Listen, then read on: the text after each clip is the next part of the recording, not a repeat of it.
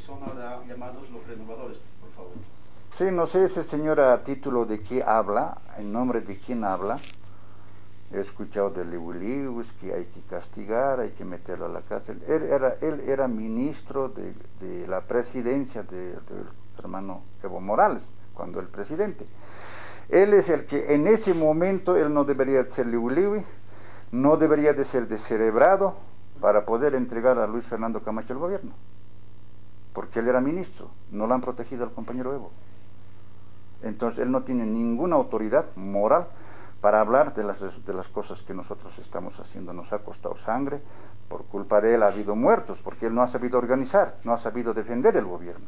Así que él es el primer Liu el primer descerebrado que está hablando seguramente por falta de cerebro, tonterías que se le viene en el momento de hablar. Yo de autores primero tendría que decir ¿A qué organización social se presenta? Yo tengo entendido de que el compañero Evo lo invitó para su ministro y eso no, no le faculta para hablar tonterías del pueblo boliviano, de ninguna institución realmente establecida en el país. ¿Debe retractarse tus palabras, senador? No, yo no voy a pedir que se retracte, ni mucho menos, ¿no? Entonces, cada uno tiene derecho a manifestarse porque estamos en un país democrático.